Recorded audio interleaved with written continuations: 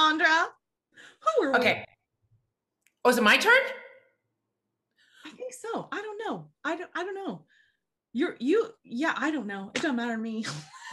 We're the Screaming Divas. We're the screaming divas, people. Screaming Divas. Yeah, I'm not singing it today. And who did we interview today? I mean, this person's a legend. This person, what he has accomplished in his life, not only in his business life, but in his personal life. This is an amazing, lovable, lovable human being. I just loved him. Canadian, Ben Heppner. Oh. What- Jazz hands, high notes. I mean, you just want to hug him. I wanted to hug him through the Zoom. I know. And such a great storyteller. Oh, amazing. He needs Yeah. to have his own pod- he needs a podcast stories with Ben. Seriously, people. Yep. I I, you know, come on. we're putting it out there in the ethernet you know he he is such a lovable person so down to earth uh, and after he stopped singing opera had a whole has a whole nother career in the radio broadcasting business um i mean what else can we see I just Helden tenor Helden Tenor, incredible career. Uh, we asked him some questions that can help out some, you know, generations that are coming up. We talked about the opera business as it is today. This is just a really feel good interview. You will Yeah. just be so lighthearted when you're done listening to this. So stay tuned, people. This is Yeah. such a- an awesome human. I, I love That's him. perfectly perfectly stated, Keri. It's a feel good interview. Yeah. It, it's just you want to hug him at the end of it, like yay! And we tried. We tried. So watch. Alright. Make sure people check this one out, okay? Please, and check out the clip. Yeah, don't miss this one. I promise you'll be you'll be in a good mood when you're done listening to this, people. It's true. Yeah. Be safe, everyone. Bye. Bye. I think one of the things I learned along the way was, and I, I tell this to young students, is I said, don't be so eager to get everybody's opinion. I said, if you hear somebody who sings well, you can talk to them, you know, talk to them, but ask them questions, but, but don't be sort of, um, you know, getting on your knees and, and in supplication somehow to this new person who's going to be your, your mentor or something. I said, you need to build yourself a team um, a team that you trust, your teacher, your coach, your uh, your spouse, significant other, um, and any other people who have earned the right to give you their opinion. Beautifully said. Yeah.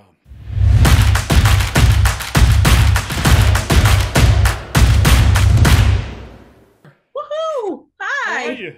Hi, Just Kara like Grace. that. Presto Great. changeo. Yeah. How are you, man? I'm very well, thank you. And yourself? Good. This is this is my friend Keri Alkema. Yes, She's the I- other I- half I- of I know Keri just just from uh, the, the opera broadcasts and things like that. Oh, Yeah. Great, great to meet you, Keri. it's great to meet you too. You know, I was in, I was singing at COC when you were there singing Tristan, Oh, and oh, I- yeah. oh, okay. and I was so fortunate enough to sit in the audience. I I didn't want to miss that, and it was glorious. So I it's so nice to sit here and talk with you today, and maybe fangirl a little bit because it was awesome. Well, thank you. It was my it was my last Tristan, I think. I think yes, if I remember correctly, yeah, it was. But I really loved it. I don't know how y'all did it because it was you were standing on a little black box like the whole entire show. It seemed like. well, it wasn't that so much, but there was there was this screen going on behind us of this this movie, Yes. and we were wearing black, so everything was kind of predicated on the fact that they didn't want to see the singers. what is Um, wrong with people? Wait a second. What's the name of the opera? Yeah, that's not how they put it, but uh, that's the way I uh, I kind of took it. Oh, I maybe I should go get my uh, my coffee. Oh, wait, I have coffee being delivered to me. Oh, that's kind. Yeah, ex- yeah, except that my beloved is uh, struggling with uh, a, a leg problem, a knee problem. Oh no. So she so she has to use a crutch, Oh, and carrying coffee is not the easiest thing. you need to go get it. Do you need to pause and go get it? We Oh, got sure. it. Oh. Yay! Thank you, beloved. Thank you. Hello, guys. thank you, beloved. That's that's Well- that, uh, that's my uh, on on on the radio show. She's always my beloved. Aw. Oh. How long have you been married? How or together? Uh, 42 years married. Wow. Yeah. Congratulations. Wow. Child bride. well, that's what I'd like to say. Yes. Well, I how have you all the time. been? I mean, let's Oh. let's just like go right in, like How the pandemic. Uh, it go, uh, doing fine. Uh, I was uh, I had I'd already sort of given up the the singing career and in I think it was 2014, and so uh, I, I was in radio already, and that that was working out great.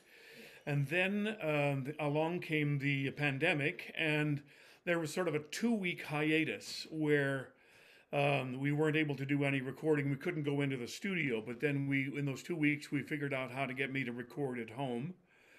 And um, I've been working remotely ever since, since the middle of, uh, well, so the end of March.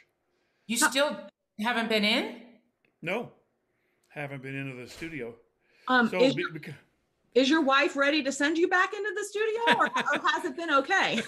yes, uh, well, she's she's had the same problem. She works as a minister actually in a church, Okay. and uh, I wouldn't you know the the the, the things closed, churches closed, and um, she hasn't been able to go back in either. So she's been doing all of her work on Zoom basically, Mhm.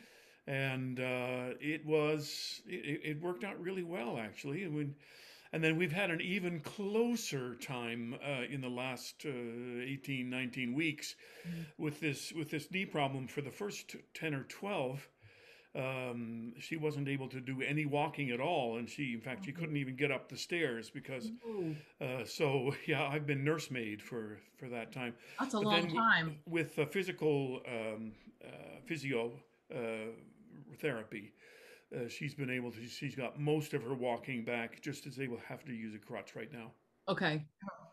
Uh, all during still a pandemic. Yeah, yeah, pandemic. But uh, the first summer was not difficult at all for us. We have a big backyard with a pool and the kind of stuff, and our grandkids were able. We sort of we decided to uh, isolate, but in three separate houses. Mhm. So we didn't we didn't expand out of that uh, bubble um, unless um, without everybody's permission. So we kept everything very close. So with the summer was fantastic. Only when they went back to school did, did did we have to start to be more careful, and that's continued on. And then now in the summer we're able to open up a little bit more again. Uh, so we're we're doing we're doing really well. I'm um, I'm actually have I finished my job at the radio as of the end of June. Although I'm still on air throughout August, and I finish on the Labor Day weekend. Oh, okay. We're doing we're doing, re, we're doing repeats and stuff. So I'm uh, officially retired as of the end as of Labor Day, Whoa. and yeah, so I'm gonna be just a papa. I are you- are you happy about that? I kind of love that. But Oh. are you happy about that? Oh, I'm just so thrilled about it. Uh, my beloved, uh, Karen is her name. Um, she uh, also left her job the end of June, and uh, so, but she's fighting, fighting the moniker retired. She didn't want anything to do with that. Okay. She just wants it's to call just- it playtime. It's playtime. yeah, new phase. So the summer is going to be a bit of a, a bit of a mm, high, uh, you know, um, hiatus. Uh, what do you call it? A sabbatical, and um, and then we, we act- actually going. We're going to Munich in the early part of September. I'm going to be a judge in the ARD uh, competition, and uh, she's tagging along. We're just going to have some fun in Munich, Amazing. and uh, we'll be back by uh, mid-September. I love that. And you have five grandchildren. Is that correct? That's right. That's Yeah. right. Awesome. Wow. So now you get to do all the things that you always wanted to do, that we always wanted to do while we're singing. Yes, yeah, yeah.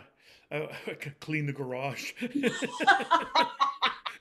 I call it being a normal person. yes, that's right. Yeah, Finally. It's kind of fun, isn't it?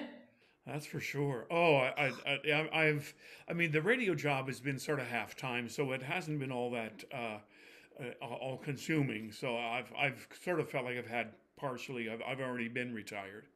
Mm-hmm. Wow. Well, I want to. I, I know that. Okay, so now the cat's out of the bag that you're retiring from that, but Yeah, we had a lot of questions to ask about the CBC, your two shows, and yeah. and for instance, like how did how did that happen after you retired? how did you go down that route instead of, say, a general manager of an opera house? Uh, first of all, there's no way that anybody would want to hire me as a general manager because I would say that I'm the wrong person um, for general manager. But radio was always an interest. In fact, at the same time as this radio job came up, another a job teaching came up and um, it was very clear. Uh, I'd, I'd done a sabbatical replacements for someone who was uh, a sabbatical at McGill University, and I did a year of that, and it was I just didn't feel like I related all that well to teaching. So when this radio thing came up, it was just like yes. Uh, because I've loved radio and um, I've enjoyed every moment whenever I did an interview or and I did a couple of hosting things in uh, in in the CBC. I hosted the 2003, I think it was the uh, bicentennial of uh, Berlioz's uh, birth. Okay. Um, so you know, I had I had some little experience, and uh, they took a bit of a chance of trying to figure out whether I actually had the ability to to sound natural on the on air. No, you have such a distinctive voice too. I mean, you you listen to your speaking voice and you know that's Ben Heppner. It's it's and it's a very soothing, dulcet.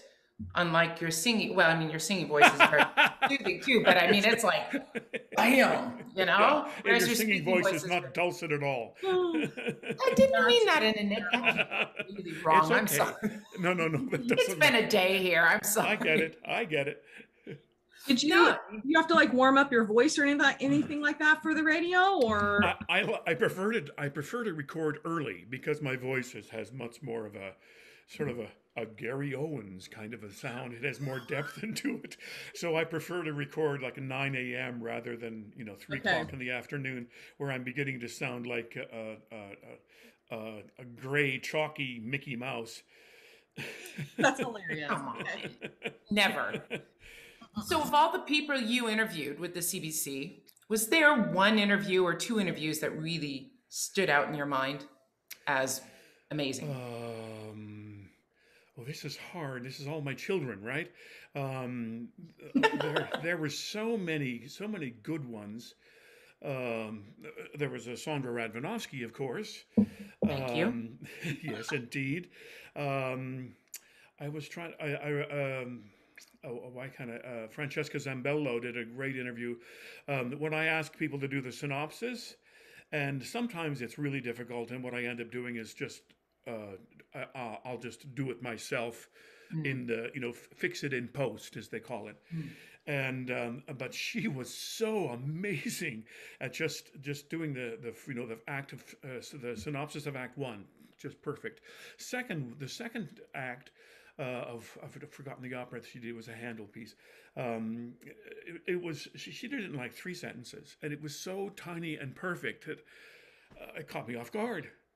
Um, oh, so she was she was one of the I did Peter Sellars. He was interesting because he he goes um, he kind of goes off into the ether a little bit and uh, yes and and we'll and we'll talk and he will repeat some of the lines he wrote them he, he has them memorized and and he will sort of do a whole reading of the text. It was it was hilarious and wonderful all at the wow. same time. Yes, very esoteric, isn't he? And yeah, and yeah. thinks thinks completely different than singers in a way. Yeah, you know. Yeah. Uh, I, I, have a I have a great story of uh, uh, I worked with Peter a few times. The first time was Tannhäuser in Chicago back in '92, I think it was. Anyway, um, there was a moment here at the at the uh, COC when he was doing the uh, the Tristan, and um, he was working out. Uh, we were doing a staging rehearsal. I'd been asked by the publicity department to do a could I do a television taping, and I said, well, what is a or a video thing for news? Mm-hmm. And uh, I said, what does Peter think? He said, oh, he's he it's fine. He's fine if you're fine. And then we got I got to the the studio, and there they are, and. Um, and I went up to Peter and I said, "You were okay with this?" And he said, I, I, I, was told you were okay with it." So I said, "You know, anyway." So he said, "Don't worry, I've got this." So when the rehearsal started and the camera started rolling, he started swearing up a blue streak. It was just like unbelievable.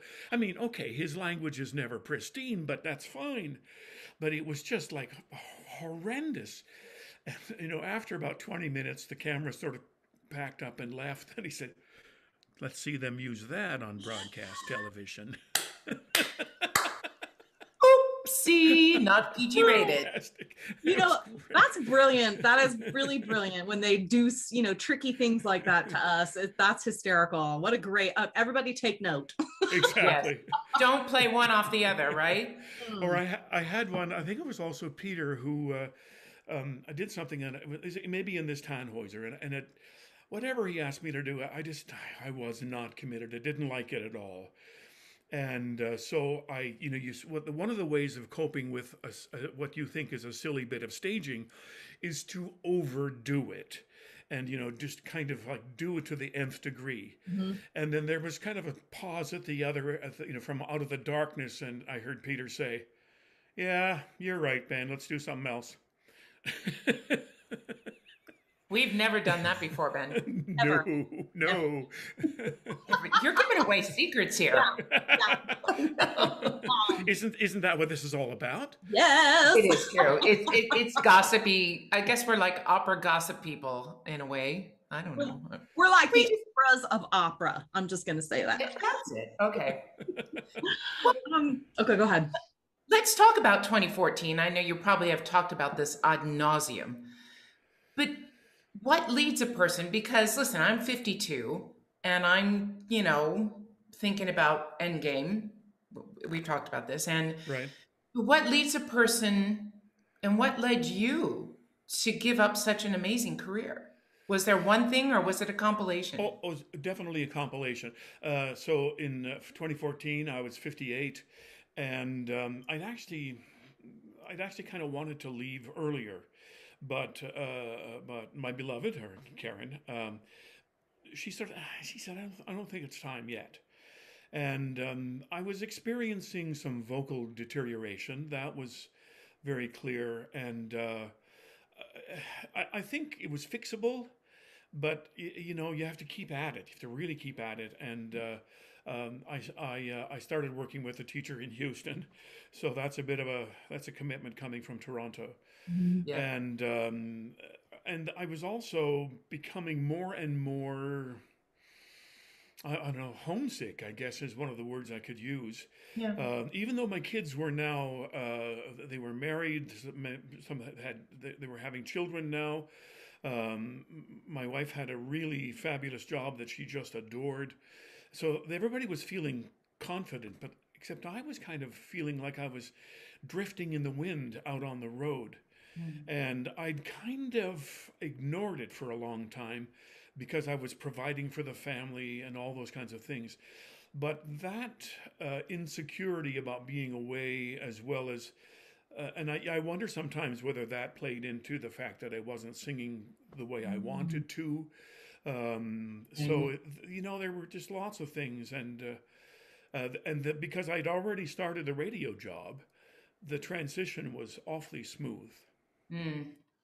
Yeah, yeah. Well, you know, I see it's it's it's a short journey from here to here. You know, when when we have when we have issues here that we can't quite you know figure out, oftentimes they show up here or vice versa, you know, and I and I think that people don't always realize in this business that our emotional state is so reflected in our vocal state. Very know? much so. Yeah, yeah. Uh, I mean, try to try to sing it at uh, your parents' funeral, for example. You know, you have to absolutely. I, I've done it. You have to arm's length your emo- emotions and then just deal with them later. Yeah, Yeah. true. You're Superman, by the way. Yeah, right. Oh my goodness. I couldn't But do it. was there um, because of what we all singers have lived through in this last year and a half especially with so many singers artists musicians conductors being out of work um, i think that there's quite a few that we're going to lose. And that's an emotional journey i would think for anyone that's thinking about leaving the business. Is there any similarities between the emotions that you experienced walking that path of saying i'm going to close the door on this chapter of my life Um, in in terms of the way that I felt about uh, shifting out of this career, yes it it no, I, I didn't find uh, a transition difficult at all. I, I think because my life wasn't the career. Right. They were not. They were not synonymous. Mhm. It- the, the career was part of my life, Mhm. but my life in was was revolving around my wife and and three children and now five grandchildren, Mhm. and um, it it it was. I don't know. There was hardly a. I didn't look back with any kind of regret. There are there are certain things I miss. I miss the the first five days of traveling. Uh, you know, because I have a new place and you know a new apartment and a new city or something, and it's just Right. or revisiting an old city and the old haunts that you love. Mhm. Um, but then after a while, I get really tired of it, and I would just want to go home and, and be a homebody. I, I, I turned out to be more of a homebody than even I realized. Wow. Okay. Love that. Well, that's I find that the hardest part of this job. And and somebody asked me once, when are you going to retire? And I said, the day that I can't leave my house. Yeah, yeah, You know, it, there comes a point where you just say, I can't anymore. And and I get that, you know. It's there's so many other things. The singing part of it, and I Keri and I we've talked about this. It, it that's the easiest part of it, singing. It's it's all the other aspects. And now, especially during the pandemic, getting from A to B, forget it. yeah, exactly. I mean, even getting across the ocean to Munich for us, uh, we have our we've booked our tickets, but there are are there are going to be some challenges, I think, with uh, testing, and we've both got of our we got our vaccinations, but still, it's it's not just it's not just straightforward. No. Oh no, it's it, it's it's no easy thing anymore, Ben. And let me tell you, like the amount of planes that I've been on, I've had 74 PCR tests since January 1st. Ow! I have no nasal passages left. but there's, there's, a, there's a thing that I there's a thing that I've learned is that because we all we've all had to we've all been to the ENT guy right, uh, and um, so when you want it they they feed something down the nose or whatever to look at your cords, and you can we can all flare we can all flare our passages. Mhm. It works rather well for getting a test. You probably have done that many times now that you have to have your 75th or whatever. Oh, that's Uh, coming up in two days. Yeah. yeah, you you just kind of flare your nostrils and it makes it easier so they don't feel like you're scratching their brain. They're scratching your brain all the time. Well, they made Jonas Kaufmann's sinuses bleed in Paris when we were there. They they were digging for gold. Like they... sorry. Oh no, sorry. that's what they call a spit take. So, Yeah. so you stopped singing and you didn't look back. no, And- no. That's that. You know what? Good for you. And it was obviously the right decision at the right time. And I mean, I t- I've told the story before, but but the radio thing, it started early in my life. Uh, I lived in northern British Columbia. Uh, on uh, I started on a farm, you know, outside a place called Dawson Creek, not Dawson's Creek, but Dawson Creek. and um, I found this this sort of cabinet radio. It had two old tubes and stuff like that, um, and I found it worked. And in the wintertime in that area, you get these radio waves that bounce off the, the stratosphere or whatever it's called. Um, and you, I could pick up stations from Texas, from Chicago, from uh, Los Angeles. Um, and uh, so it was kind of my window into the bigger world. So this radio became became uh, uh, kind of a way to explore beyond uh, what was you know the the farmyard and the animals that we uh, that we looked after and, and the grain that we grew. Um, so so I love radio and it's it stayed with me the entire time. So when the job, I realized the job was open and it just uh, I flowed into it really easily and I adored every moment. cool. So full circle. You know. yeah, yeah. Yeah. Would anything bring you out of retirement? Well, I I would uh, to sing. You know, I haven't sung in a long time, and um, I, I, so I don't think I'd want to do any sort of opera role thing. Uh, I might do little appearances if, uh, I'm, in fact, I'm considering one. They want to do a they want to do a video kind of a thing, and uh, I'm not sure because the voice is not responding the way it used to.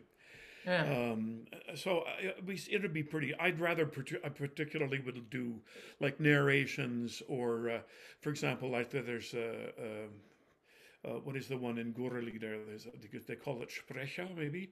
Um, It's it's it's it's on pitch, but it's spoken. And Ah, okay. uh, so I, I, we do something like that, but um, I don't consider that out of retirement. Uh, that's just kind of fun, something fun to do. Sure. Okay. Well, hey, uh, once once a person, I I think once a person's been on stage, you always have that bug, you know, and that that feeling of excitement walking on stage. It's irreplaceable, really. Yeah, I suppose I'll have. I may have to find it somewhere else. Um, the radio is is another form of that. It's just it's just more contained. You have to you have to talk to one person, not not to a whole audience. Right. So you don't think about projection, like really sending the voice out. You you have to you just have to work in the theater of the mind. This one one person you're talking to, and it, it takes a little time to figure it out. Yeah. When you look back on your career, all the hills and valleys and ups and downs of it all, is there anything that is there any advice that you would give to singers going through it, either starting or in the middle of it? That you Well, I- lessons you learned that you would pass on? Well, I, I've, I watched a couple of, of your earlier uh, uh, podcasts uh, and uh, or video casts, and um, I, I was one thinking that question would come up. One of the things I didn't go through kind of this uh, um, starting in the on the on the regional houses and you know getting decent roles and then working my way up and then working transitioning to the bigger houses and working my way up. Um, i i did the met competition in 88 i was 32 and um, i went from like working comprimario things in toronto or you know vancouver maybe Mhm. to all of a sudden boom um, I, I made my debut as Idomeneo at the Met. Was filling filling in for Luciano. Um, but so I didn't I didn't have that sort of that that eddy or, or that you know the, the inclined screw that, that takes me higher and higher. Yeah. Um, uh, and uh, I think one of the things I learned along the way was, and I, I tell this to young students, is I said, don't be so eager to get everybody's opinion. I said, if you hear somebody who sings well, you can talk to them, you know, talk to them, but ask them questions, but, but don't be sort of, um, you know, getting on your knees and, and in supplication somehow to this new person who's going to be your, your mentor or something. I said, you need to build yourself a team, um, a team that you trust, your teacher, your coach, your, uh, your spouse, significant other, um, and any other people who have earned the right to give you their opinion. Beautifully said. Yeah, that is it is, and don't take it from everybody um, who feels it's their right to tell you their stuff. You believe in yourself, and um, uh, take the opinion though of those that you trust, uh, and listen to them. Work hard to. Uh, to follow their advice, but don't get so eager to to get some new guru that that follows because people would ask me. I'm sure they ask you um, uh, you know, you know, what, what do you think about this? What do you think about that? And uh, it's just, it's just not right. You you need to be sure of yourself. There's a, you know, what's the, you know, seeing as my wife is a minister, I can use a little a little scriptural thing here. Be a double-minded man is unstable in all his ways. So you need to know what you want. Oh, one of the ones that I just um, the, uh, I heard a bit of uh, interview with Matthew Polenzani. He has this in spades. Yes. He was he was so engaging, and um, he just has he knows himself. He knows who to believe, uh, who he trusts, and who has earned their right to speak to his life. and his and- priorities are very, he's very sure of that. and he spoke to this whole idea that I, you know, he, his life isn't all about opera. That's part of his life, but it's not everything. Right. And uh, so I think that's one of the bit of advice that I would give. I love that. I- and that's Uh, double-minded man. That that's a pretty profound statement there. it is. Yeah, Um, yeah. Don't So- be pulled about by everybody. mm-mm. So I know that you were born into a Mennonite family. Yes, we didn't actually attend a Mennonite church, but we attended a church, just not a Mennonite one. And uh, yes, but it's my background. In fact, the name Heppner is fairly well known in the uh, in the Mennonite world. There Oh, were two there were two people who took the Mennonites um, in, in- from northern uh, Germany into the Ukraine or what Russia then was what is now Ukraine uh, in the late 18th century, about 17 mid 1780s, I guess. Uh, One was uh, Jakob Höppner, which is just a variation of my name. He was a great, he's a great, great something rather to me, and uh, I was uh, more related to his brother, and. Um, uh, and then a guy by the, by the name of Bartsch. So the name Heppner is fairly well known because they they were the two people who sort of negotiated the the land contracts and stuff with the the government of Catherine the Great. Interesting. So you've done all the genealogy and everything with with your name. Uh, a little bit, uh, n- not uh, uh, just enough to know that I was I'm related to Anton He- Höppner, not uh, Jakob. Uh, all I am related to, but it's just a more complicated journey.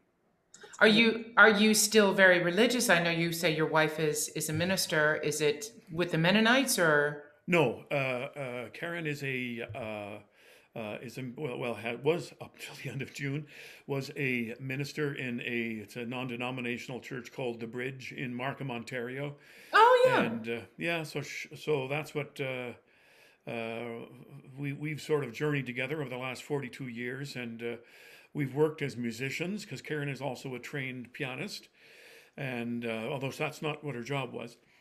And um, uh, uh, her job was uh, putting together small groups um, so that people would experience life more connected in a way that rather than you know 800 people in a, in the congregation, it comes down to eight or ten. Oh. And uh, she put them together usually by age or stage in life. You know, parents raising young children, or uh, uh, we're in a group that's uh, more our own age and that kind of stuff. Ah. Nice. So do you have the Von Trapp family at home? Are they all?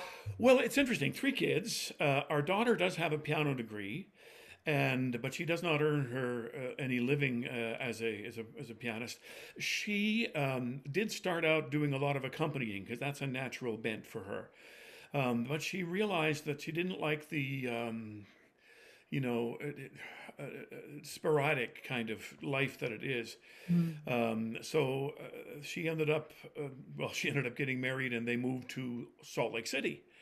Oh. And um, uh, they, uh, so she hasn't worked as a musician, but uh, has, and, and until she finally got her uh, papers to be able to work, um, she had to volunteer. So she played for a, a, a, a cellist, a teacher, a teacher of cello, and um, in exchange for t- for playing for his students, she took she took cello lessons Oh, cool. and uh, just a number of things like that. Uh, oh, so that's uh, she's a musician, uh, you know, by training. Then I have two boys, and I think both of them would say, in fact, all our children would say that they are musicians at heart, although they don't earn their um, earn their living. So my my older son, uh, my both my sons are guitar players, bass. Um, uh, my older son is a fair to middling banjo player, and uh, earned earned his living uh, in the summers uh, on the street busking, and um, yeah, That's awesome. oh, it's fabulous. I did I did it when I, I came across him one day. and He was working outside St. Lawrence Market, and he said, uh, you know, okay, Dad, Dad, come do something with me. So um, so we did, you know. Soon one morning when this life is over, I'll fly away. Something like that, you know. Yeah. That's great. And uh, so, yeah, so my kids are very musical, but they don't earn their living as musicians. Yeah. Okay. So what do your grandkids think about you being an opera singer? I mean, like when you bust out a big note or something like that just for fun, what do they do? um, plug their ears. Oh yeah, totally. Well, it doesn't help that I kind of, you know, I kind of grind in on the worst part of what they're doing. I'm trying to come up with what I would. I had so I had a granddaughter in the vehicle the other day, Monday, and taking her back, and we're listening to I guess it was Frozen. I don't know, Frozen Two or Oh, Refrozen or whatever it's called. and um, Refrozen. and I, Lord I, help I wish. I wish Uh-huh. I wish I could bring up the piece because I, I do it when they go to the very top end of the range and I go with them Uh-huh. and I just and I just screech the living daylights out of it. And he's, Papa! So you do sing in the car. Oh oh, well, yes, but um, usually I, I get told to just quiet down and listen to the music that I put on. That's hysterical. Oh my gosh, I love that so much. Now you have, correct me if I'm wrong, your own a school of music named after you. Well, yeah, it's not my school of music, but uh, it is named after me. Um, it's the Heather Heights Elementary School in sort of eastern Scarborough. Scarborough. And so they there was some money available f- through the school board to create a specialty program. And the very wise principal of this, he decided that he they would put together a, a- a music program. And in order to try to get some notoriety, and they asked if they could use my name. So there's the uh, yeah, Ben Heppner School of oh I'm, I'm the the exact name I'm going to uh, mess up, but yeah, it is Heather Heights, and then it has the Ben Heppner sort of sub uh, specialty within that school. Um, and I go generally once a year um, in their in their uh, open house times, and I'll maybe perform for the um, uh, for the new prospective uh, uh, students and their parents, and maybe do an interview, work as a bit of a um, uh, master class with some of the younger singers and stuff like that. Uh, so yeah, it's a really cool thing. Although it's it's you know not a lot of kudos go to me. Gotcha. Well, I mean, listen, this is we we preach this on the show that uh, without people like you or you know forming this music school, music is not going to continue. I, I mean, Yeah, yeah. end of story. uh, yeah, it's really too bad to see these music programs being seen as somehow dispensable and cut out of because of some budget uh, consideration. Uh, and it just weakens the, the future of, you know, not just opera, but, you know, you think of all the Nope. instrumental, you know, I'm just thinking classical, but also Right. even pop music Right. uh, people don't get a solid kind of a technical musical training to uh, to make their uh, not that everybody needs not everybody needs to know the the ins and outs of of musical theory to the nth degree but they need some to kind of hang their hat Sure. Well, think of some of the great some of the great pop singers. I mean, I'm I'm going to show my age here, but you know, like Pat Benatar, Barbra Streisand, uh, Barry Manilow. I mean, they were all trained classically. yeah lady gaga Lady Gaga, and look, Yeah. I mean, they're still singing. If they wanted to still sing, they could still sing because that's right yeah they had this technique. Exactly, and I, it, it's something that uh, sustains you, and uh, and even if you don't make a career out of it, it is never wasted. Mm-mm, Yeah. Absolutely not. Where do you, I mean, do you have an opinion on where you think opera will be in the next 10, 15, 20 years from now? Oh, it's it's hard. It's hard to judge. I mean, I'm kind of out of it, you know, since 2014. Uh, Mhm. I go to the the theater and stuff, but um, I've always had the feeling that, in addition to doing the great works uh, uh, from the past, as you uh, as as we all do here, um, uh, rather than just doing you know Tristans and and uh, you know Bellinis and uh, butterflies and all that kind of stuff, I'm thinking we need new repertoire. We need new stuff. So, like musical theater, Mhm. they have, you know, they can do the uh, Music Man or a Carousel or, uh, um, you know, other Titanic. wonderful- Ti- Titanic. Yes, hello. I did Titanic. Mhm. ask me. We did our And, research. um, uh-huh. And um, they, they do new stuff. Well, with you know Titanic, it was closer to uh, uh, was a newer piece, Mhm. and uh, you know I, I was uh, Ragtime. I was at the debut of that. That's a pretty interesting piece. Um, th- there's just all sorts of wonderful new things coming up. Uh, and and we need new stuff. So I, I would love to see. You know, I did Moby Dick, Jake Heggie piece. Right. Right. Um, Great piece. and uh, th- there was uh, you know there's other things that have happened but they're so infrequent that uh, that we need more, and we need composers who will write in a way that uh, engages the audience's ear. Some, I think, the ears are hungry for melody. It doesn't have to be the old style of melody, No. but I think it should have a melody of some sort that that pulls us in, not just kind of pointillistic. How high can you sing? How low can you go? Right. Um, you know, not just that, um, but to engage us with great stories. Um, uh, uh, what's you know the death of Klinghoffer? Mhm. You know, it's an interesting story. Uh, the um, uh, what was the one? The uh, the Oppenheimer. Um, uh, uh, uh, Nixon in China? No, Nix, that's- no, well, Nixon, in China, but uh, uh, uh, yeah, it's it's about Robert Oppenheimer, and uh, Yeah. of course, the name Gerald Finley, I think, um, yeah. premiered the role.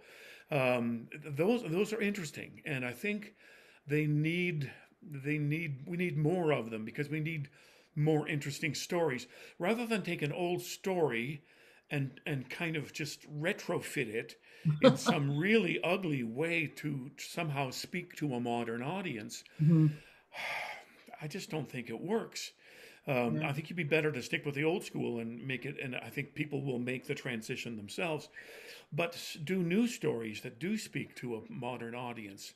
So I'm a big fan of modern opera, of, of getting more out there, but also a, a type of composition that also is engaging for an audience, Absolutely. not just not just in the mind of the composer. Right. No, I agree with that. We just uh, interviewed Maestro Luisotti, and he said the same thing.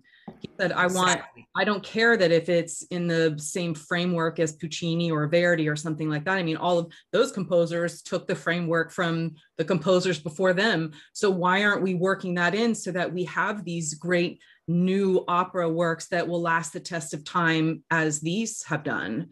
And so Exactly. and I and I, I really appreciated him saying that because I totally agree. I think that is part of our future. We have amazing stories to be told um, that haven't been told yet in this kind of genre. So why not? Let's go there. Let's jump in. But as you said, let's have the music that that makes your heart jump out of its chest.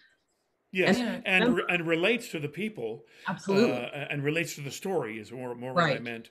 Um, I, th- I think I think it's uh, not explored nearly as much as it ought to have been. Mhm. Yeah, we don't we don't hear when you go to Broadway, you don't hear atonal music.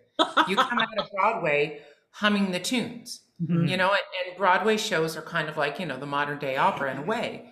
Yes, We don't we don't get these things that are unsingable in Broadway. So come on, let people let's just bring it back to opera. And I mean, we have a perfect topic right now. Hello, everybody lived through it, and it's called a yeah. pandemic, you know? So I don't know. Among many other things that have happened in the last year and a half, you know, numerous social topics, issues, and things like that. yes, Um, I don't know, you know, you said that, you know, you've been out of it for a while, but um, we talked about this a little bit with Matthew Epstein um, in a way of where are the big voices? A lot of, Mm. of us feel like we are living in the wild, wild west of opera where everybody is singing really whatever they want. There's no more, hey, maybe I think Tosca's a little too heavy for you. I mean, we've got light lyric sopranos singing Tosca right now. And maybe Dramatic voices. and they're going to end up singing Sieglinde, who knows? But um, and a lot of my colleagues are getting asked to sing things where they're going, "What are you? Are you crazy? How did you even hear me singing that kind of repertoire?" So I have that question. Then I also have, where are the big voices? I mean, I I know that, and even when I was a young artist. Big voices were in America were like, whoa, we don't know really what to do with them. And so, I mean, where are they? Do you have an opinion on anything that I just said? Because that was like, Very. well, yeah. Where are they? Uh, well, they're out there as well. I- I, I just don't know that we found them yet. Mhm. Uh, there was a, a or an article, um, a, a television sort of a documentary about how, how uh, tenor. Where have all the tenors gone? Mhm. And there was this whole the the, the they posited the theory that the tenors um, were just kind of being uh, they, we were losing them to uh, sort of genetics that women liked voices uh, who were deeper and more resonant so Oh. that, so that they were mating with baritones and bass baritones Oh, that's interesting. or s- I mean something like that. And I say, have you listened to modern music? Have you listened to punk? Have you listened to rock? Thank They're you. all tenors. Yep, they are. Right. Yeah. As a way, there was there was a bass baritone who who was sort of saying to me, you know, the girl may go, the girl, the, the tenor may get the girl on stage, but they go home with the bass baritone. And and and I Really? said, well, and I said it was it was my best comeback I think I've ever had was, hmm, it's interesting. I'll tell my banker. Oh my god, I love that. I love it you. was- It was it was like I just cut him off. Best response ever. I've never had a better one. It's true though, but you it, it is it is it because there's lack of education or lack of time? As I always say, big voices take longer to bake, and we don't have that luxury of time. well, part of the other thing is uh, there was a couple of there's a couple of little bright spots. Uh, I did I was a judge in a in a Wagner competition out of Seattle a few years ago, that was um, you know dedicated to bigger voices. They raised the age limit so that uh, the, some you. of the development had to happen earlier. Uh, Dolora Zajick, of course, has her um, program working with larger voices. Right. Um, and there's a, I think Jane Eaglen in um, in Boston is also doing uh, a lot of work with, uh, and they have a sort of a Wagner uh, program happening at the end of this month. I'm, I'm going to be doing a master class. Um, so there's there's there's some people who are trying to do it, but I think there's a tendency for the the uh, uh, I don't know who it is, opera hou- opera houses, directors, uh, you know, opera intendants, um, agents to get their to get their people out and kind of working at a younger age, and so there's not a time for the voice to develop. No. I mean, even when I came in, I you know. I don't know that I was ever really a Helden tenor. Uh, it's I call that you have to to be a Helden tenor. You have to have turbo boost, and and I, I I didn't really have I didn't really have that all the time. I mean, you know, not like a Jon Vickers or a, you know Lauritz Melchior or those Yeah. Fabulous fabulous voices. Um, I had something else. It was a little more lyric, but I could engage my turbo boost when needed. Okay. And so that kind of helped me help me survive. Kind of like Formula One racers now. You know, the drivers they only have that turbo that they can use every so often, and you have to use it wisely. So Yeah, yes, it probably it uh, there it probably burns up your resources. I would think. Well, how do you? How did you? Because I can't fathom this. I was in Götterdämmerung at the Met as uh, Gutrune, Yeah, and I remember it was so long that between my next to last entrance and my last entrance, I could get out of costume, go across the street, eat dinner, come back, and go back on stage. And all the while, you know, you're still there on stage singing away. Not you at- in this production, but the tenor. yeah. How does one train to get through six hours of an opera? Well, I was asked once how you know how it was. Uh, they heard me. They heard me say this, uh, that I had only had a five minute attention span, and they said, "Well, how is it possible to do Tristan, for example? I mean, it, it's so long. How can you, if you only have a five minute attention span?" And I said, "Well, first of all, maybe I'm making a bit of a joke. Secondly, you do the first five minutes, and then." You do the next five minutes, and then that that's how you do it.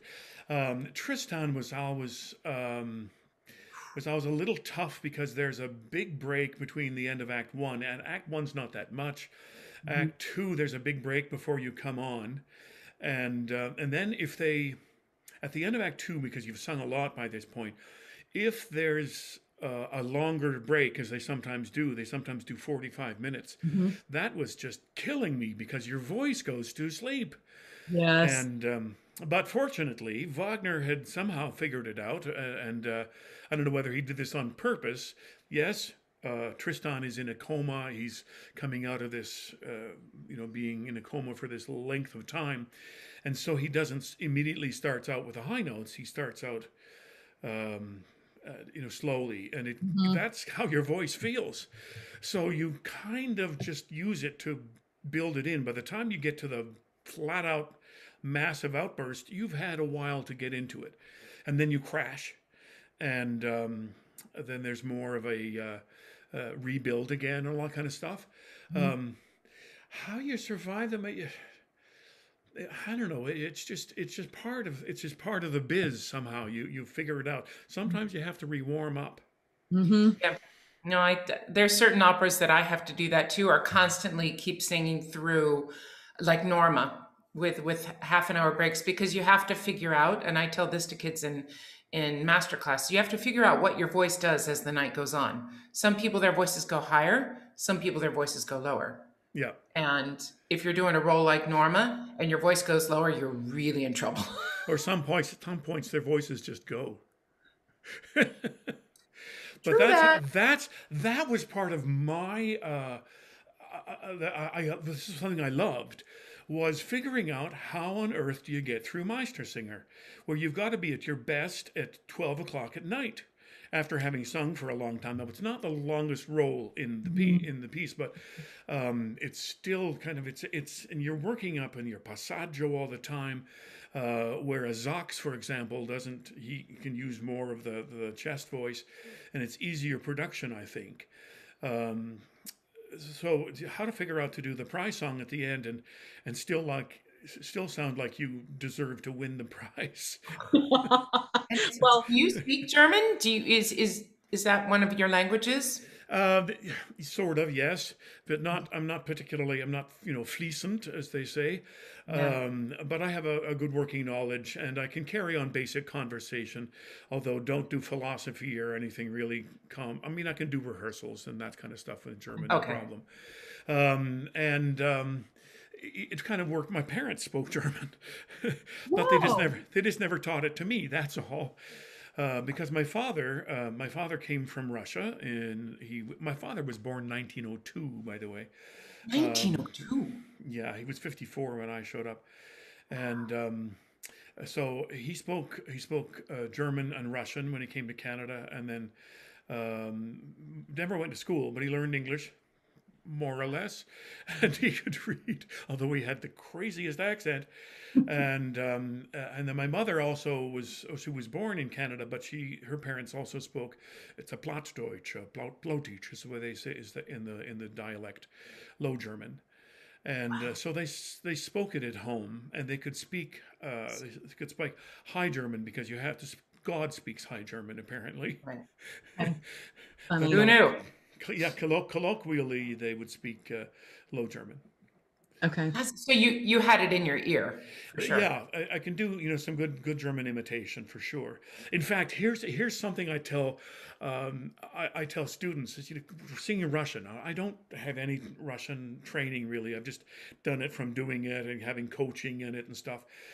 But I found a little trick, and it's the stupidest thing, and probably it, nobody should really take this seriously. But once you get the words, the syllables all worked out, now add a Russian accent to it. I do the same thing. Yeah, yeah. And Learning works. Pink Dom is the same thing. It's like sing it like a Russian, you know? Exactly. And you, you know, the, and the L's start to come out right, and uh, Mhm. um, I kind of, it's crazy, but you add a add a Russian accent, add a, you know, a, a Czech. I remember uh, doing a Jenůfa, the the the Laca for the first time, and um, so I got a tape of my of my words from somebody. Hello, my name is whatever the name was, and I am your Czech couch.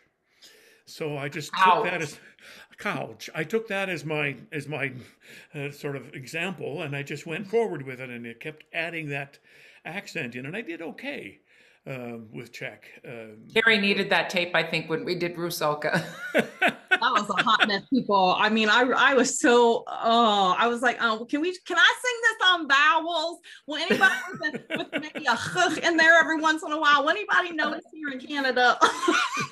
I remember I worked with, I learned Rusalka with Yvette Graf at the Metropolitan Opera. I don't know if you ever worked with her. indeed. And I remember I just said to her, I stopped her one day when we were going through all the, just speaking through it. And I said, Excuse me, can I buy a vowel, please? Yes. She just There, started. I remember one high note is like a B flat or something in in the in Rus- Rusalka, and it's V v- uh, V R S R D Yeah. S I or something. Strzeets. Vysotsy. Vysotsy. And you think, yeah, because you were. Hot mess, hot You're going to cause some kind of an aneurysm. Well, you know, it's like you, just to make all that because I know in the very beginning of it, the first act, it's streets. Yeah. And I remember I have I was listening to Yvette Graf when we just did Rusalka. I was listening back and I was like, okay, she says it, I say it. She says it, I say it. And I go, well, that's not the same word. No, you know, no. it's Okay. so No. hard. Um, Hard language.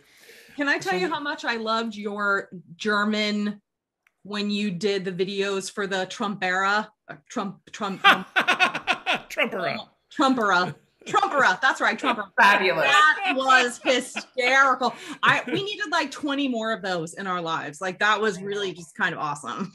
Well, the thing was, I did it for a show here in Canada called Because News.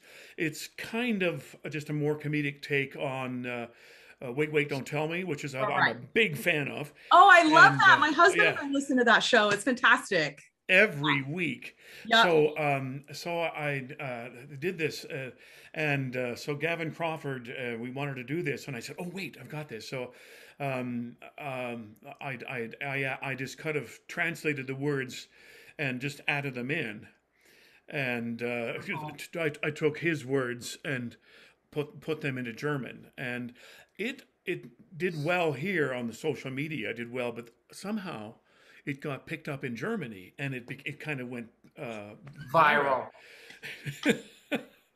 I love it.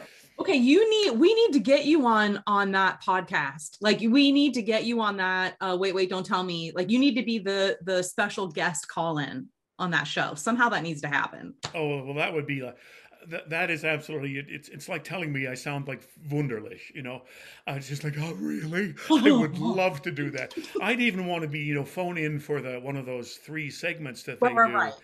Uh, you know, stump the whatever. Yes. And um, uh, uh, uh, so I would, I would just love to do it. that needs to happen. We need, to, not we need to make some phone calls. Yes. I'm not that I'm not that funny actually when it comes down to those kinds of things. Okay, you're in this thing. You got three panels. Two of them are sort of trained comedians, Right. journalists, Mhm. and Heppner. Yeah. Uh, no, I think it would be brilliant. Come on. I really do. I sometimes sing, think the straight guy, you know, is the funniest because you know other people. I think comedians sometimes try too hard, whereas the, the the the drier straight guy just comes out with these one line singers like you did about the tenor and talk to my accountant, Yes. right? yes. totally. I don't know. I don't know. I don't know Motorcycles. the- motorcycles. Well, there's there we go. I know that we're going to questions, right? And uh, I think one of my favorite uh, objects owned is uh, is my motorcycle. Um, I've had um, I've had two. And uh, well, actually, I've had three. Somebody gave me one, uh, and I, I immediately gave it away because, um, well, there was a complicated reason reason for it. But I, Was this from Vancouver? yes, I heard this story. So, um, so I right now I have a I have a 2009, so it's not new. Uh, 2009 Goldwing, Honda Goldwing, which is a touring motorcycle. Motorcycle. It's it's basically the motorcycle equivalent of a stretch limo. Okay. So it's not. It's 1800 cc's. Uh, so you know most motorcycles are somewhere around 12 13 and some of them will stretch up into the into the 2000 2200 but those are like monsters this is not a monster it has six cylinders um, and it is amazing it's it weighs 1200 pounds wet i would guess like with gas and oil and everything and then you added the the rider so it's that much more Wow. or two because uh, my beloved will ride with me Oh, okay. Do you have a sidecar? no, no, just uh, Okay. just just two up, and um, it's very smooth, um, and it, it'll go forever. You can ri- even on the 401, which of course is like the big big multi-lane highway with big trucks and stuff like that. Mhm. It will it won't budge at all. There, you don't feel like you're buffeted by the wind. I've got a windshield. Oh, I've got I've got everything except a backup camera. I mean. Uh, um, I've got heated seats, uh, front and back. I've got heated grips. Um, it's Whoa. got it's a passive uh, heater on my on my legs and feet, Mhm. where you just have to open up some louvers and it will direct it to your feet and legs. How cool. Um, and uh, I've got a backrest that's an addition, uh, so I can I have a good ergonomic way of of riding. Um, I sent it uh, on two. I sent it on two occasions. Uh, I did longer rides. One, I sent it down to Houston, and when I did Tristan there, and I I rode it while I was there as my vehicle, awesome. and then I rode it back home, which was the payoff. That was the big payoff. Whoa. And um, and then the other one is I I sent it off to Salt Lake City, and I went down and picked it up, and I was uh, uh, to greet my uh, first granddaughter. Um, she was about two weeks old. My wife was already there, but I was she was about two weeks old when I came, and then uh, Karen and I used the the bike to get around and and did some exploring around some of the mountains to the south of Salt Lake, Wow. and um, and then came back the whole way. Wow. Um, so that was fun. No, I, I- I was thinking about the Houston trip. It reminded me. So I'm I'm going along, and uh, I'm out of um, I'm out of Memphis, and I'm going. a- It's kind of one of those days that is it going to rain? Is it not going to rain? You know, should I should I just pull off and call it a day? Mhm. Uh, but it's sort of you know kind of like threatening and I had my I have Bluetooth head headphones in my helmet, and then you just prod you do your music right. um, uh, from your phone, and uh, I was riding along, and uh, you know, is it going to rain? And all of a sudden, it just just as I hit sort of this I forget which which valley, which river valley it is, that you go down into, and just as I hit it, the sun came out. And the, the sort of the rays came through the clouds, and all of a sudden it was a beautiful summer day. And I go, wow! And on the on the music on my headphones, what is it? Is that Wolf? Um, it's that Wolf song. Um, of course, now my my my COVID slash Alzheimer's old man's brain has forgotten Oh, the name of the it. song. Uh, forgotten the name of the song. It's very short, um, but it was just perfect because I was I was learning this repertoire, so I wanted to hear it Okay. and Yeah, it yeah, was yeah. just it went down into the valley it was just uh just the most perfect moment yeah and then as i climbed back up out of the valley yeah it, it left but it was a nice kind of a moment to remember I love that. Okay, what else? What other kind of music do you listen to while you ride? other Yeah. jazz Jazz. uh, i'm a big jazz fan Ella yeah. Fitzgerald. Ella Fitzgerald, yeah, I like. I don't listen to a lot of jazz singers, but if they are, I'm going to listen to the old school melodic style more than I am um, people who do a lot of note bending that Right. makes me cringe. Um, uh, and I love big band, Oh, uh, and in in particular, I love piano trio. Um, one of my favorites is uh, a guy by the name of, well, of course, you know, Oscar and Oscar Peterson and uh, Gene Harris. Uh, sorry, uh, Oscar Peterson. I'm trying to come up with the other. Uh, Gene Harris is another big favorite of mine. Uh, there's another, Oliver Jones is who I was trying to think of. Um, and I just love, I love jazz trio and, and solo, solo jazz piano. So that's what I hear a lot. And also, it's, it's a time for me to listen to podcasts. Yes. Um, there's there was one uh, I forgot it was forgotten which podcast it was, but I think it's called 25 and a half weeks. I don't know if it's this. It might be This American Life, Okay. or I've forgotten, but it's called 20. And it's this woman, this couple, this woman, and the baby. She had trouble the whole pregnancy, and 25 and a half weeks can't stop it. The baby is born. Probably is not going to make it, and it's only when the when the baby and the fetus is 26 weeks old that they throw the resources towards it. So this is up up to the doctor somehow. wow. And I, I heard the story. It's just riveting. I was just on my way north from Houston too, and um, uh, I heard the story. And then once in a while, might have been it was Radio Lab, because once in a while, you would hear this little little human voice or a little voice of something in the background, and you, what is that? Was that was that a baby voice I heard? And then you keep on going, and then you hear it once, and it's only infrequently, and then all of a sudden you realize, apparently the doctor kind of threw the resources at the baby because they sensed something in that child. And uh, although technically they could have waited, you know, four days, didn't make it. And sure enough, that was. And the way it was layered in was just caught me. Just my heart was in my chest when I realized, and that the little girl came on and talked.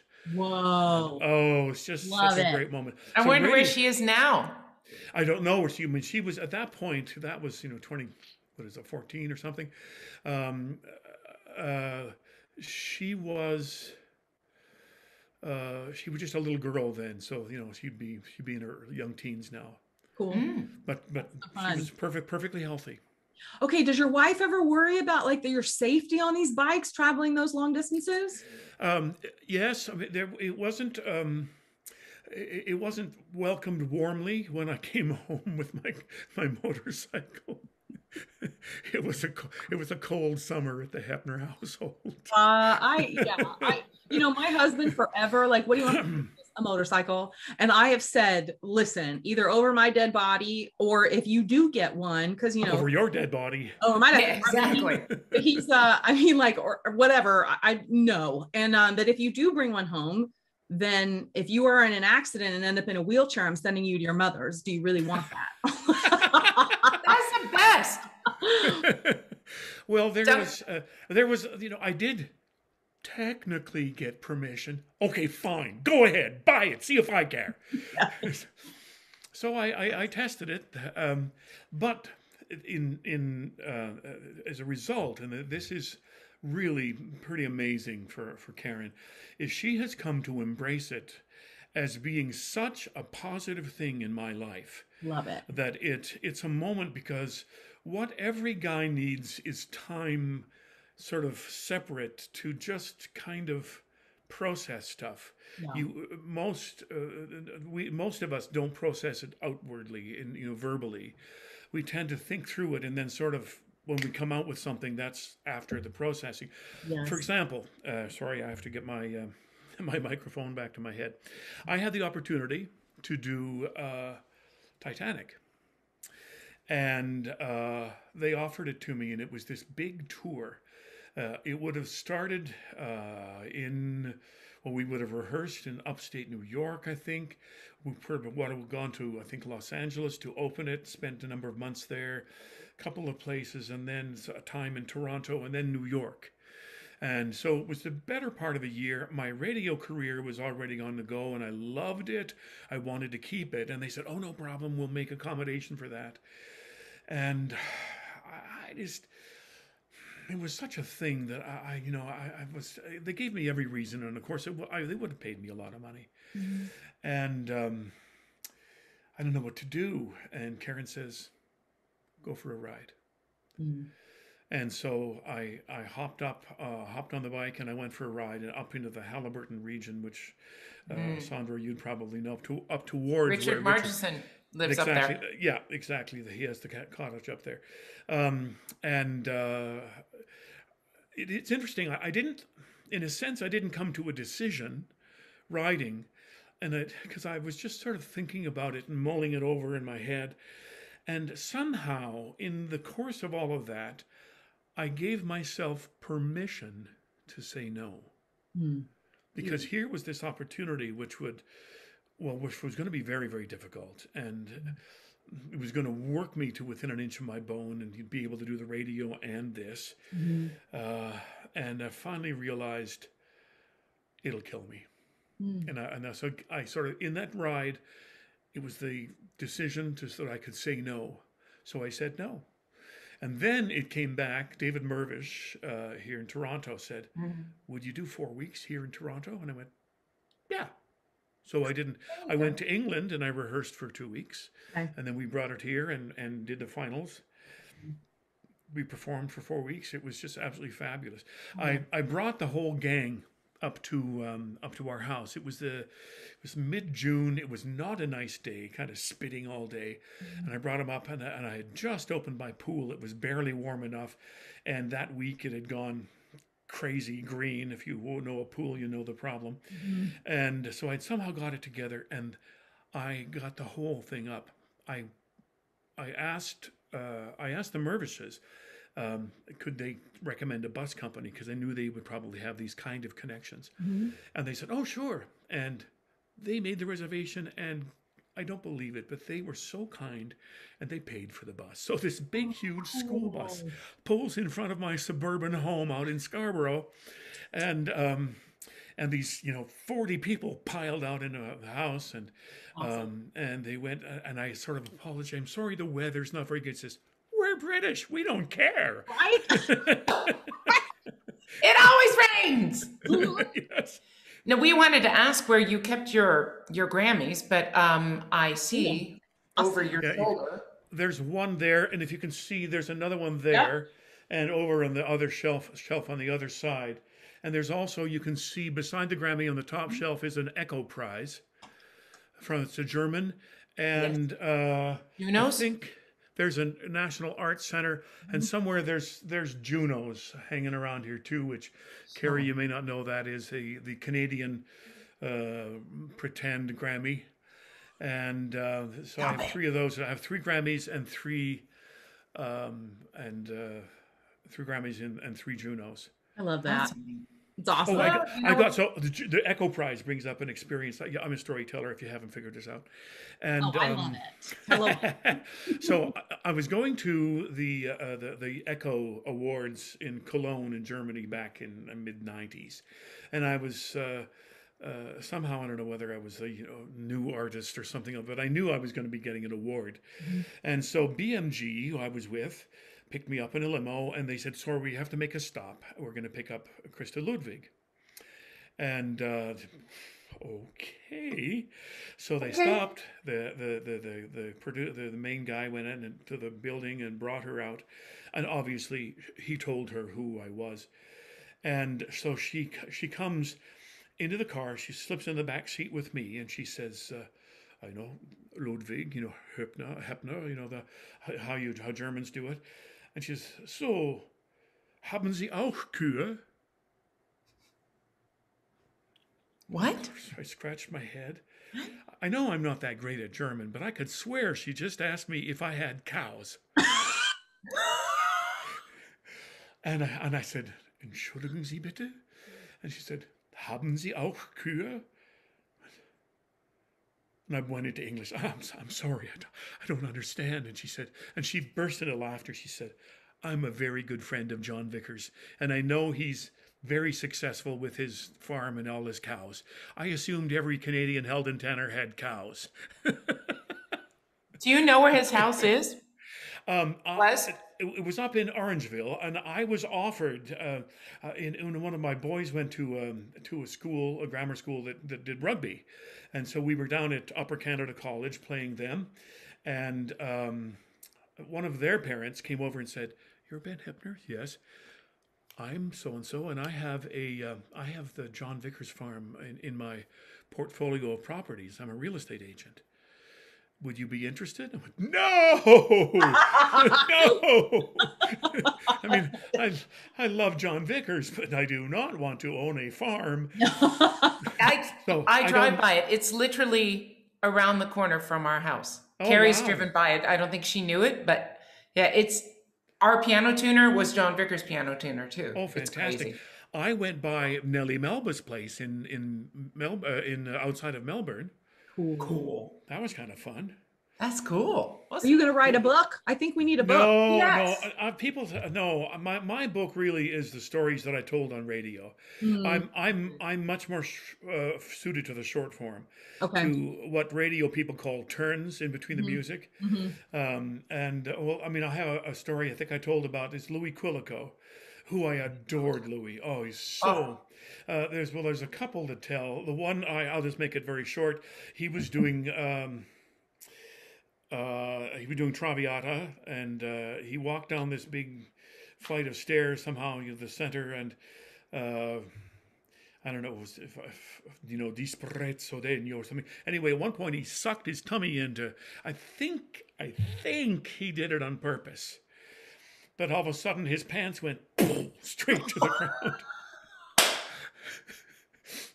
I love Oh no! had these fabulously colored um, fabulously colored uh, boxers, uh, which I, what's why I think it was on purpose. But Mhm. anyway, so the other story, which I thought was was was maybe worth telling. So this was at the memorial service for Lois Marshall. Uh, who you I don't know if you know, she was a, a Canadian. She was opera singer, but she didn't do a lot of opera. She had polio early on and didn't do a lot. She was like, uh, forgot who was uh, maybe did she work for Toscanini? Um, I'm not sure if I'm I'm telling the truth there or mixing. Somebody Anyway, famous. Big name. Somebody she worked with great, and she was an amazing singer. Um, I had sung duets with her uh, on tour with a choir, uh, Vancouver Chamber Choir. And uh, anyway, Jon Vickers and I are are speaking on behalf of Lois Marshall, and so everything finishes. I, I was four and a half minutes. John was twenty one. Anyway, uh, Just saying. we were told we had five. Okay. And, So- and who's going to tell Jon Vickers to shut up? exactly.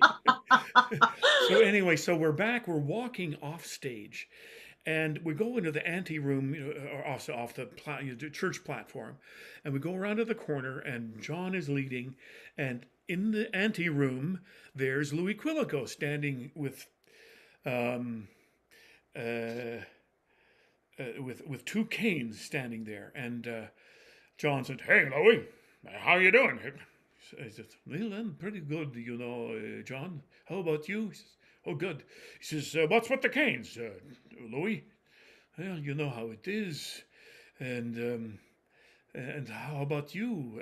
I forget what he says. How how are your knees? I think. Well, that's what it was. How are your knees? Because he always had trouble, and um, and, uh, and he, he lifted up one leg and he did a flex. He flexed it as he, he says, "Look at that," and Louis says, "You know, I like you better bow-legged."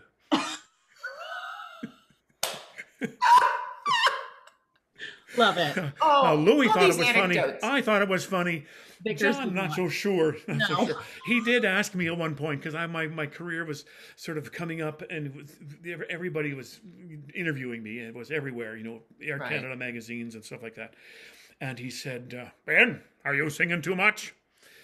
And, and I went, "You know, John, it's really just smoke and mirrors."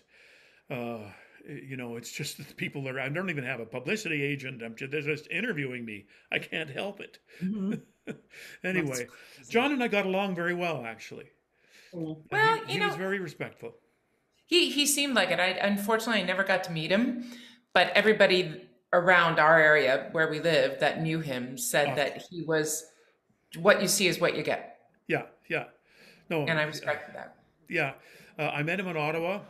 Um, uh, uh, people told me that when he shakes your hand, men, when he shakes a man's hand for the first time, he'll basically che- check your manhood by really shaking it. Yeah.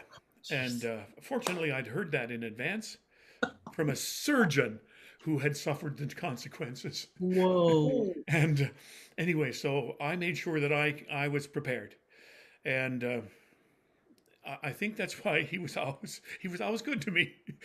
And you passed the test. I passed the test. What do you do? You have a few more minutes at the end. We always do these quick these things called rapid fire questions. All right, I'll make up some stuff. So Great. Oh, I love that. Make it I'm pretty sure you're pretty good at them. So well, this is the Proust questionnaire, isn't it? well, yeah, kind of, yeah. Yeah. Okay. Mm-hmm, okay, I'll let Keri start this time. All right. Oh, okay. Um, um, um, um, um, um, what single person most changed your life? Oh. Uh, I think it was a professor of music. He was a conductor and my he was my theory teacher in the first year, and uh, conductor of a chamber choir, Cortland Hultberg, and it was. It was the reason I think he reason he changed my relationship with music and how I could relate, uh, maybe even how a man could relate to music, because I was very feeling very sensitive to this kind of stuff. But I probably felt, you know, coming from a farm farm background, you didn't show those emotions. Um, and I remember him being uh, on. We're on tour. We're in uh, we're in a house, and he's listening to uh, the Mozart bassoon concerto. And uh, I noticed he's crying. He's tears. And I said, uh, Court, I said, uh, or I probably said, you know, Mr. Hultberg, um, your uh, is this piece is this piece special to you?" And he said, "Yeah, this is the last piece I played before I hung up my bassoon." Whoa. And so, in, and there were there were opportunities like that all through. I could tell you lots of stories, but he was one I think who made a big big influence on me. Cool. What opera best describes you? Oh, Meister Meistersinger. Which Yeah. is, you have a Grammy for Yeah, that. uh, yeah. Uh, I- think it's it's because he was an outsider, um, and um, he had ability, but no, he had no connections, no uh, uh, sort of family connections, no breeding, Mm. and I related to that character like you would not believe. Hmm. Um, it was. Uh, yeah, so he, he didn't know all the rules, and, and I, I felt like that that was that was me just on stage. I I didn't know how to put one foot in front of another, uh, but I, I felt like I, I I could sing a little bit, so I, I just kept on doing it. a So was little bit. Singer. I think a bit a bit more than a little bit. Well, I, I got there eventually. oh, I tell you, there's some, there's something interesting that, that, I, that I, I figured out throughout. or It was early on in my career as as my you know I, I started fairly at the big houses quite quickly, and I was working with these incredible people, and I'm thinking, oh my God, I just hope I I acquit myself in a in an easy way. I don't embarrass myself because I don't have the experience. And then I woke up one morning and I thought, what a stupid attitude that is. You want to set the you, you want to set the standard. I mean, mm-hmm. you may not you may not actually set it, but you want to try. yeah, And so that was the ch- that was a great change in my life. and it just was like that. I bet. Yep. Yeah. That day. Yeah, I did the same thing with stage fright.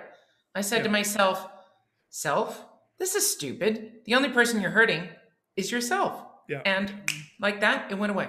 Yeah. I, I always say that the stage fright never existed unless I hadn't uh, un, unless I hadn't prepared enough. Right. Then I sort of felt it. That, that was mostly recitals.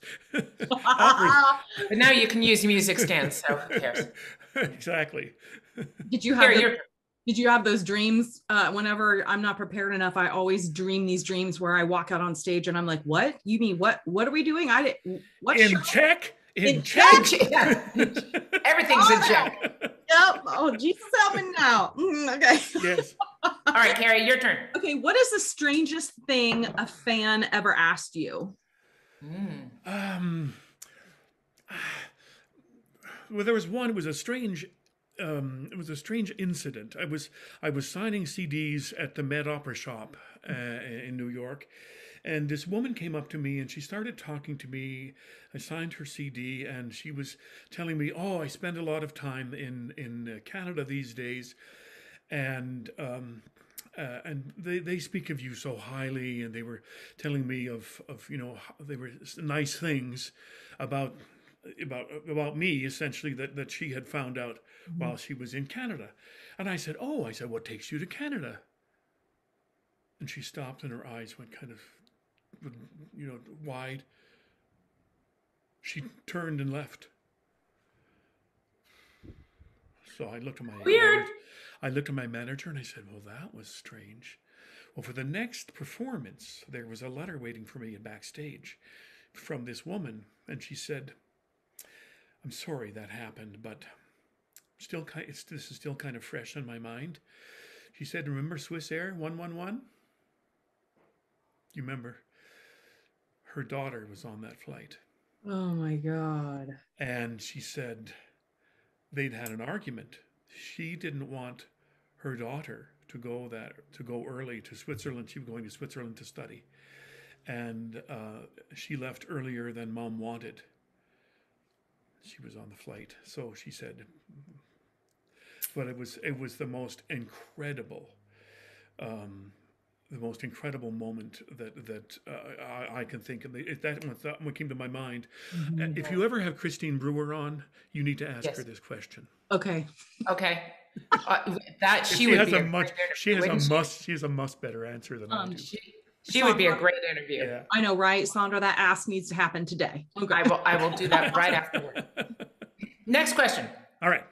Song that always gets stuck in your head that you just can't get out. Okay, I saw you ask that to other people. And I thought, oh, this is going to be embarrassing because the one that gets stuck in my head, there is a children's entertainer by the name of, uh, oh, wouldn't you know, my, my head, um, uh, my head is just frozen his name out of, uh, out, out of my head. Oh, anyway, he has a song, it'll, I think it'll come to me, um, called Smokey the Bear. Here comes Smokey the Bear. And for some reason, after I heard it for the first time, of course, my kids listen to it endlessly on loop, you know. And so it's Here comes Smokey the Bear. No, Stompy. Here comes Stompy the Bear. Here comes Stompy the Bear. And from that moment on, every time as a man who is 65 years old, I have to get up in the middle of the night sometimes. And my, my feet hit the floor, and I stand up, and there's usually a little sort of a nightlight that casts a bit of a shadow. And as I'm walking, I go, Here comes Stompy the Bear. Here comes Stompy the Bear. Oh, the, name, the name of the artist is Caspar Baby Pants. Casper baby. Caspar, I think it's AR, maybe, or maybe it's ER. I don't know. Caspar Baby Pants. I'm so sorry we asked that. If you are a, a, a parent of small children, go and find him. He's fantastic. Okay, okay, okay. What's the most beloved thing that you own? Well, we've already talked about it. Motorcycle, I guess, is is what I would say. You you you know, I, I can't say that I ever own a family. I own my relationships with them, but uh, I'll go with motorcycle because it has such a positive influence on me, and um, and I'm careful. I'm careful. Not not that I couldn't have a I couldn't have a problem, but uh, Knock on wood, knock on wood. I couldn't I couldn't ride. I have only just started riding last week for the first time this year because Karen was suffering. She could not walk and for for 14 weeks she was basic she was sleeping on the couch. She couldn't even get upstairs. Wow. Um, so uh, she was reliant on me for everything. Mm. So I thought if I go out even if I something small happens to me and I you know I break a wrist or something Right. um, uh, I can't have that happen. So I didn't ride until last week. Responsible. Yeah. Well, you you have to do what you have to do. It's Sure do. think of all the stuff that she sacrificed for me when I was on the road those years. Oh, By the way, I wanted to tell you that she's um, she's one of those. She I've, I've met a lot of opera spouses, uh, significant others who went to every rehearsal, every performance, and my beloved said to me, "Sweetheart, I love you." But I'm only going to one show. That's, yeah. that's mine. That's her husband. Shall we do the last question? All um, right. Oh, yeah. Last question. Okay. If heaven exists, what do you want to hear God say as you walk through the pearly gates? You're late. About time. No, you don't want to hear him say that. You're early. Yeah, you're early. I don't know. Just what came to my mind. I love it. That's great. What a Well, thank joy. you, Ben. Thank you. honestly, it has been a joy talking with you, and we're gonna. I guess congratulations are in order for Yeah. Thank you. Yes. Yeah. Yeah. Uh, it, it it. will be coming out. It will be coming out towards the end, and uh, it, it will probably. This will be heard by a couple of the opera people who will get it out into the public, and I think. You know, I've really been uh, stopped stopped work since the end of uh, June, um, but it's now the uh, Labor Day weekend is the last. re- We do we're doing repeats the whole time. Well, Okay. enjoy enjoy every minute of it. Oh my Oh, god. thank you so much. And our Thank you. house is anytime you want to come drive up, take your motorcycle up to Caledon, All right, and I'm- we're I'm- home, which is never. I may, I may, I may uh, ship you uh, an email to get your address. Perfect. Sounds great. Absolutely. All right. enjoy enjoy the rest of your summer, and thank you so much. It was great chatting with you. Thank you. It's been you. fun. Huge hugs. Thanks. Bye bye. All right. Bye. Bye bye. Bye.